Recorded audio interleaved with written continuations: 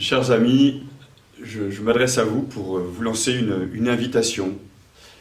Venir marcher, marcher pour la paix, vers euh, le sanctuaire de la paix à Souvigny, auprès des saints abbés Mayol et Odilon qui, au cœur du Moyen Âge, euh, Père abbé de l'abbaye de Cluny, ont œuvré pour la paix, la miséricorde, la paix dans la société, la paix dans les familles, la paix dans les cœurs. Rendez-vous le samedi soir pour d'abord un grand spectacle organisé par les apprentis d'Auteuil, Voix de paix à la priorale à 20h30.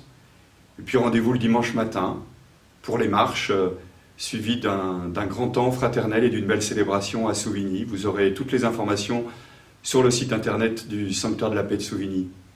Souvigny, un sanctuaire de la paix parce que sont inhumés là deux grands-pères abbés de Cluny, Mayol-Odilon, qui ont œuvré, comme je le disais à l'instant, pour qu'au cœur d'un Moyen Âge violent, marqué par les famines, marqué aussi par bon nombre d'injustices, eh bien, la miséricorde et la, paix de Dieu triomphent. Sanctuaire de la paix, parce que sont accueillis là visiteurs, pèlerins, qui souhaitent euh, demander au Seigneur la grâce de la paix pour eux-mêmes, pour leur famille, pour leur entourage, pour leur pays, pour notre monde.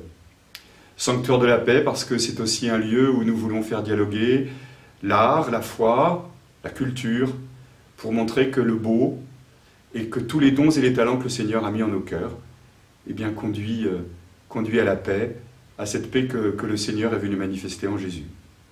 Alors n'hésitez pas à, venir euh, à Souvigny, à passer quelques heures, quelques jours, auprès des saints abbés Mayol Odilon.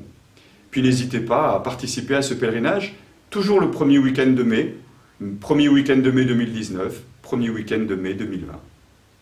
Nous vous espérons nombreux à Souvigny le 4 et 5 mai prochain. Merci.